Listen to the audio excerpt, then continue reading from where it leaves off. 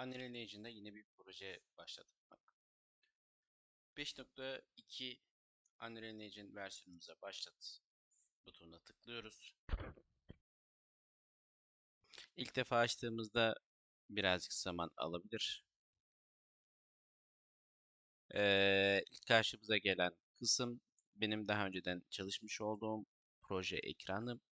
Ee, sol alt tarafta Games birinci şahıs, üçüncü şahıs, yukarıdan bakış, bir araba e, sürme oyunu yapacaksak veya virtual reality yani sanal gözlükle bir proje gerçekleştirecek veya boş bir proje gerçekleştireceksek bunu seçiyoruz arkadaşlar. Bize 7 tane seçenek sunuyor.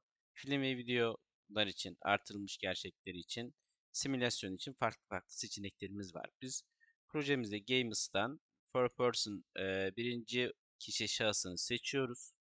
Kodlamamız blueprint yani blok kodlama olacak. İlerleyen dönemlerde çok ileri seviyeye geldiğimizde C++'ı kullanabiliriz. E, platformumuz masaüstü mobil. Biz masaüstünü seçiyoruz. Kalitemiz maksimum stabil orta seviye yani eğer biz mobilde yapacak olursak o zaman bunu maksimum seçmeyebiliriz.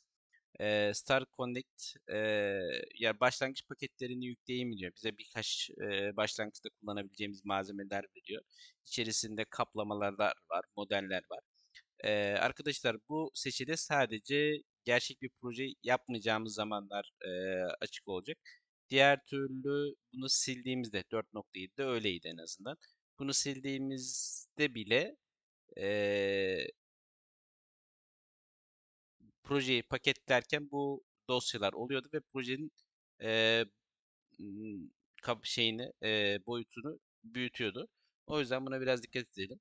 Işın izlemesi için büyük proje yaparken e, mobil e, PC veya konsol gibi uygulamalarda bunu seçebilirsiniz. Işın izleme tekniği birazcık projemizi kasıyor. Evet.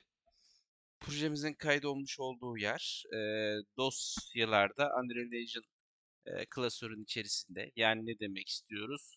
Hemen şuradan klasörün olmuş olduğu yere gidelim. Bakın belgeler. Belgelerin içerisinde buraya kaydedecek. Şimdi şuradan projemize bir isim verelim öncelikle. Peyikhane Peyikhane Kale diyelim. Veya Peyikhane ilk dersim. Create dediğimde bakın tekrar bir gelelim. Belgelerin içerisinde Android Project PKN PKN ilk dersim. Bakın buraya oluşturdu. İçerisine giriyorum. PKN ilk dersim. Burada Content klasörüm. Burada. Bu Content klasörüm önemli. Bu aklımızda kalsın. Projem açıldı. Bakın gördüğünüz gibi. Open World bir proje olarak açıldı. Ee, şimdi bunu çalıştıralım. Bakın yukarıda kısa yol tuşu Alt P'dir veya buradaki üçgen e, ikonuna tıkladığımızda oyunumuz başlayacaktır arkadaşlar.